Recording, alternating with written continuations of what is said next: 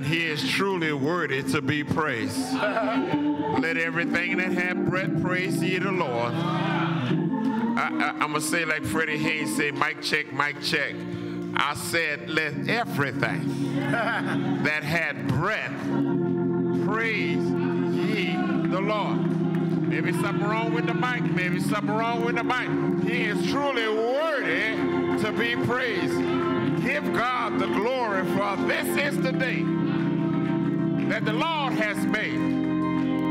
Let us rejoice and be glad in it. Praise the Lord. We are certainly glad to be here today. Bless the Lord. The Lord is truly worthy. It's so good. But we want to uh, see uh, many of you. Uh, get ready for New Year. We have Christmas service, regular service, Christmas morning. Amen. Come on, open your presents, but come to church first. Amen. And then the Saturday night at 6 o'clock on Christmas, New Year's Eve, we do have church and we will have church New Year's Day because that's our communion service. Regular service at 9 o'clock on New Year's Day. So we got church Saturday night and we got church Sunday morning. Amen.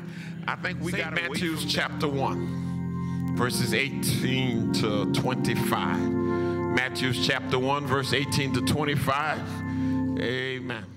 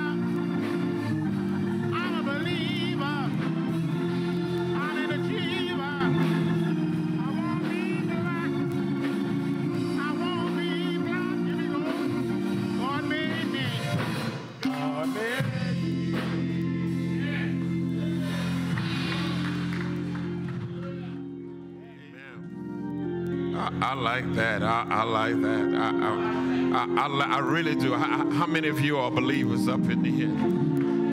Conquerors and winners. Amen. I like that. I like that. And praise the Lord. Amen. Gracious Master, we come in the name of Jesus Christ. We thank you and we bless you for those who are here today that have come to hear the word of God. It reminds me, Lord, that when Jesus walked in the synagogue and he got the Bible, got the Torah, and read the word, and he sat down, and the Bible said all eyes was on him. And then he stood up and started to teach the word. We ask you for that same spirit, my Heavenly Father, that the Lord would work in me and through us. We pray for the word this morning, Lord. We pray for the word this morning, Lord. Help us, Lord Jesus. We are believers, my Heavenly Father, because we believe in the word, Lord. What the word says, Lord, is what we believe, Lord, because it's your word, my Heavenly Father, that was inspired by you, Lord, for men the right, my Heavenly Father. Lord, we pray for those who had a desire to be here this morning, but just couldn't make it, my Heavenly Father. Sickness set, set in, Lord, and maybe something else for some other reason, Lord. But they really, really wanted to be here this morning. So, Lord, speak to their hearts and encourage them, Lord. And when they get a chance, Lord, that they can listen to the word, Lord. We pray for that in the name of Jesus Christ. Everybody under the sound of my voice, bless them right now. Bless them right now. Bless them right now. Bless them right now. Bless them right now. Bless them right now. Bless them right now. Bless them right now. Bless them right now, right now, right now, right now, right now. Bless them right now, right now, Lord.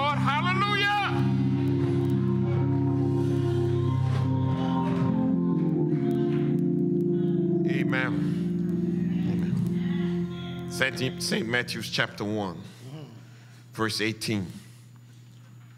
And now the birth of Jesus Christ was on this wise. When as his mother Mary was espoused to Joseph, before they came together, she was found with child of the Holy Ghost. Mm, mm, mm. Then Joseph, her husband, being a just man, and not willing to make her a public example, was minded to put her away privately. Mm, mm, mm. But while he thought on these things, behold, the angel of the Lord appeared unto him in a dream, saying, Joseph, thou son of David, fear not to take unto Mary the wife, thy wife, for that which is conceived in her is of the Holy Ghost. And she shall bring forth a son that, and thou shalt call his name Jesus, for he shall save his people from their sin. Now, all this was done that it might be fulfilled, which was spoken of, of, the, of, of the Lord by the prophet, saying, Behold, a virgin shall be with child, and shall bring forth a son, and they shall call his name Emmanuel which is being interpreted, God is with us. And then Joseph, being raised from sleep, did as the angel of the Lord had bidden him, and took him his wife, and knew her not until she had brought forth her firstborn son. And he called his name Jesus. Did the church say amen? amen? They called him Jesus. There is power in the name of Jesus. Just when you say his name, the Holy Ghost falls on you. It, it, it, it, feels like fire that has been shut up in your bones because of the name of Jesus. I'm telling you, there is power in the name of Jesus. Something happens when you say the name of Jesus.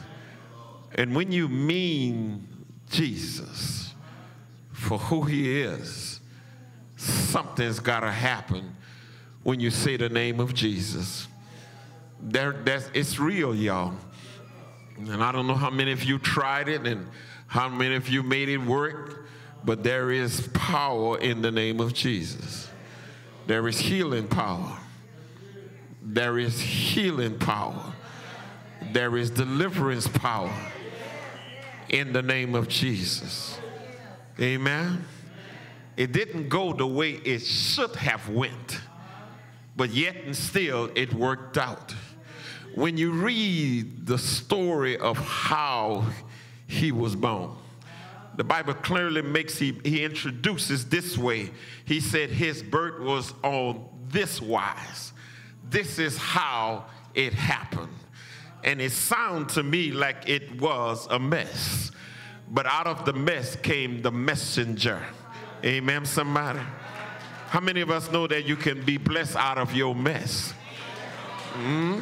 Uh, uh, uh, and, and, and how many of us understand that God worked in mysterious ways?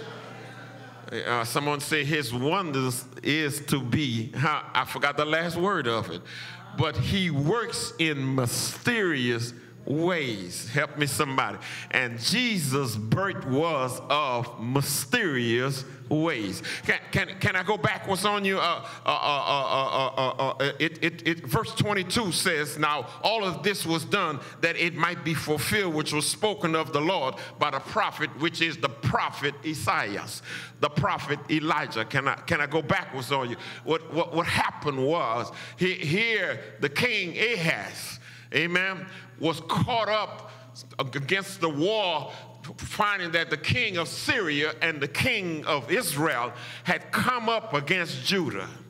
And King Ahaz was afraid, and he called upon the king of Assyria to help him. That's a little background, a little bit, a little bit background, Sister Sims, and, and, and they called on King Rezin to come and rescue him from the king of Israel and the king of Syria. Amen. And it's strange that he called upon the king of Assyria. Amen. To come and aid him. And that is the same man that ran over Judah and conquered all of them and brought them into slavery. Not Nebuchadnezzar, but first the king of Assyria. He was caught up. He was afraid. He was about to be, be run over because two kings had came to destroy them. And he decided to call on another king. And, and the prophet walked into the room and said, No, this is not what is the way it's going to be. He said, King, you are dependent on man more than you are dependent on God. He said, Why you didn't call on God? Amen, somebody? King Ahaz refused. He said, I, I'm not going to test God. I'll test man, but I will not test God. And the prophet looked at him and said these words Is it anything too hard for God. Amen, somebody? In other words, he thought more of man than of God. And I stop by to tell you that we need to stop depending on man and woman and start depending on God. Somebody help me here? All Margaret Orr can do is tell you where the storm is, but God can control the storm. Now, I just, I'm going to say like Pastor Hayden, I just drop a shout bomb on you and you didn't catch it. Somebody gonna help me here? All Chris Franklin can do is tell you how bad it's gonna be, if it's gonna be that bad. But God can control whatever happens. Somebody help me here? That storm could have done more, help me somebody, more damage than it did. Hallelujah, somebody. But somebody gonna help me up and say, but God. I drop another shout bomb in here, you didn't catch it, but God. You ought to shout on the fact, but God. That word but, when it says but, that means it been turned around. When the devil make it go this way, but God turns it around. When the doctor says going that way, but God will turn it around. When, when, when, when trouble come your way, Somebody help me here. Going that way, but God. God will turn it around. I'm telling you right now. He's turning around for you right now. Somebody help me here. Y'all ain't praying with me. You don't you haven't got it yet. Hallelujah, somebody. But God. And listen what the prophet says. Not only is it anything in, in, uh, too hard for God, he said, let me tell you something he has. He said, there will be a sign. Somebody help me here. And the sign is a child shall be born of a virgin. Somebody help me here. Don't miss that point now. How in the world can a child be born of a virgin? That, that ought to be your first shot. God can do anything. God can do anything. Is there anything too hard for God? Somebody go help me. I'm about to, I feel like I feel like shouting right now. Hallelujah. How can a virgin be, be, be, be found with a child? Somebody help me here. That's what the prophet says. And, and the prophet prophesied that it shall be done. And he said, that child will save his people. Now that was a long time ago. Somebody help me here. And, and, and I, can, can, I make you shout here? Uh, uh, uh, uh, God says that, that, that, that, the prophet says, and he shall save his people. But here come Assyria destroying the nation the nation came back together. Here come Nebuchadnezzar came and destroyed the nation. Somebody help me. The nation came back together. Here come this so-called Hitler trying to kill six million Jews. Help me somebody. And he shall save his people. Can I give you a shout right now? No matter what you're going through, it already has been pronounced. I, I stop by to tell you that God has already delivered you. Help me somebody. You ought to stand and cry and shout in the victory because God already gave you the victory. He prophesied and he shall save his people. He's prophesying on you right now that God will heal you. You ought to shout right. I don't know when he gonna come, but somebody told me he's always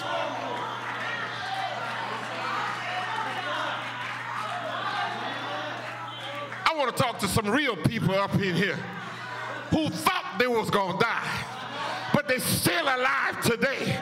I want to talk to some people who got a testimony, can say, I should have been dead. I could have been dead. It should have been me, but God.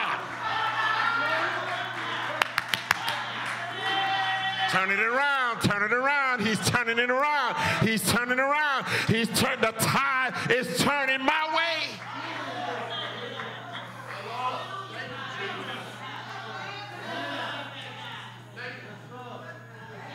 she was engaged to Joseph. And I want you to understand in the Jewish time, when you get engaged, you stay engaged for 10 to 12 months. And then you go and get your wife and bring her home. Somebody help me here. Joseph found his wife was pregnant with a child even when he was just engaged to her. And I want to tell you something. We don't take engagement as serious as they did. Somebody help me here. Watch what the Bible says. She was espoused to Joseph. But soon as he get in the next verse, he said, and his wife. Wait a minute, something wrong there. I thought you said they were engaged, but then again, again, you said his wife. The minute she was in promise to him, somebody help me here that was his wife. Somebody help me here. I, I, we don't take it serious enough. Help me, somebody. Can, can I be messy here?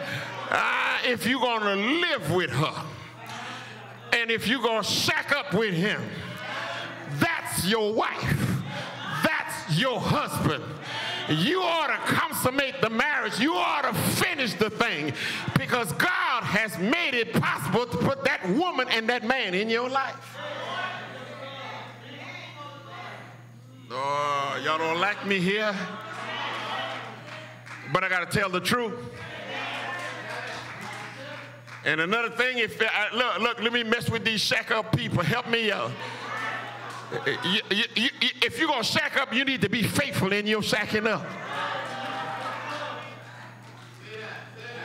Because if you ain't faithful, then you're an adulterer. You're an adulteress. You cheated. Even in your shacking up, because right there the Bible said that was his wife. Preacher, something wrong with this picture. She's supposed to be a virgin, but she's pregnant. Somebody help me here. And the Bible says, uh, and, and, and watch how God works in our lives. The Bible says Joseph was a just man. He was a good man. He was a tender man. He was a faithful man. Hallelujah, somebody. God will give you somebody in your life, woman or man, that's a good man. That's a good woman. That's a faithful woman. Somebody help me here. Ain't God all right? And it's not her, but it's the God in her. It's not him, but it's the God in him. Somebody help me here. And, and, and, and you ought to tell God sometime, God, you gave me this man. You ought to be like Adam. Adam, you gave Adam told God, you gave me this woman. Somebody help me here. I tell them all the time, amen. Y'all missed that shout bump. Y'all didn't catch that. It went right by your head. You gave me this woman. You gave me this man. Help me, somebody. God gave Mary a just man, a faithful man. And daughter, he did it for a reason. Help me, somebody. Because this man had to swallow a lot of stuff. His wife supposed to be a virgin. His wife is pregnant and he had not touched her yet. This man had to put up with a lot. God chose him. God knows what he's doing. God will put the right people in the right place at the right time. If I ain't preaching to y'all, I'm preaching to myself. If y'all ain't happy, I'm going to be happy all by myself. Thank you, Lord, for making me a right man. Thank you, Lord, for making me a good woman. Thank you, Lord, for making me be faithful to my relationship. Somebody help me here. I know we all sin, but please, sir, please, ma'am, if you're going to sin in your marriage, sin, I'd rather you sin with your eyes and not with your body. Even if the Bible says you already sinned. Prophecy, the circumstances of his birth Help me, somebody. And Joseph took his wife, and he was going to put her away because the Bible gave the man the right. Help me, somebody, to give to make the divorce happen. Go back and study the law of Moses.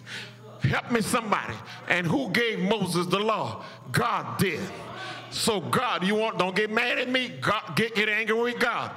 God says the man had the right to divorce his wife. Somebody help me here. Whether he's right or she's right, she's wrong. And whether he's wrong, but he had the right to do the divorce. Amen. And let me tell you how strict those people brother was, Brother Miles, in that time. They said in Egypt, when you commit adultery, they said they would cut her nose off. You missed that.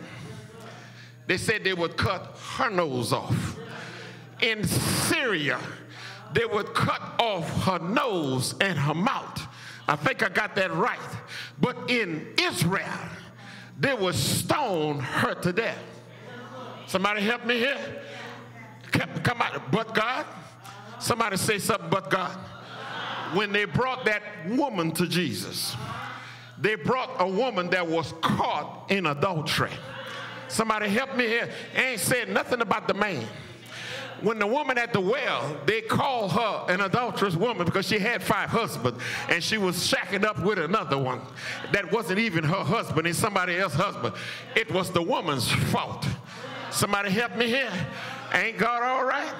Somebody help me up in there. Can I be messy up in here?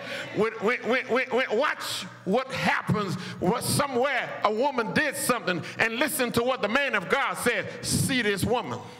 And I say this to say this, Sister Irma, is the fact is they didn't see the woman. Somebody help me here. They just, they just, and the same thing happened today. The laws that being passed in America, they don't see the woman. All they see is power and money.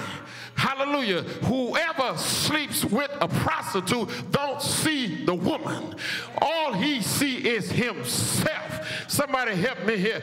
They don't care about nothing about the woman. And all Jesus says, I come to change this thing. You gonna look at the woman. Somebody help me here. You gonna look at the leper you're going to look at the blind man. You're going to look at the poor and the disenfranchised. That's what Jesus was saying. What would Jesus do? Jesus would see about those people who, who nobody cares about. Sister Glory, they didn't see the woman. All they saw a virgin was pregnant. Somebody help me here. So Joseph said, I'm going to put her away. I got to feel I'm taking too long. Uh, Joseph said, I'm going to put her away, but out of respect for her. Can I make look, y'all, y'all gonna be patient with me. Help me somebody. Not only did he respect her, but he loved Mary. Help me somebody. He said, because I respect her and I love her, I'm not gonna make a public example of her. The, he had the right to make an example of her. But he said to himself, I'm not going to do that because I respect her and I love her, but I'm going to put her away anyway. You missed that. I love her, but she got to go. Somebody, y'all, y'all missed that. Hallelujah. I love her, so I'm going to kill her. I love her, but I'm going to physically abuse her. I'm doing it because y'all, y'all got quiet on me. I'm talking about social issues that's going on right now. How can a man kill a woman and say he love her? Example, come on, y'all. I think I, I don't care what y'all say. I'm preaching up in this place. Amen, somebody. Uh, but the Bible, but somebody say, but God again. God stepped in and an angel appeared to him in a dream and said, Joseph, take her to your wife. And Joseph, not only did he say, take her, but he told him why. Because she is still innocent. Uh, uh, uh, oh. I'm about to go above your head now. How can she be innocent if she's a virgin that's pregnant?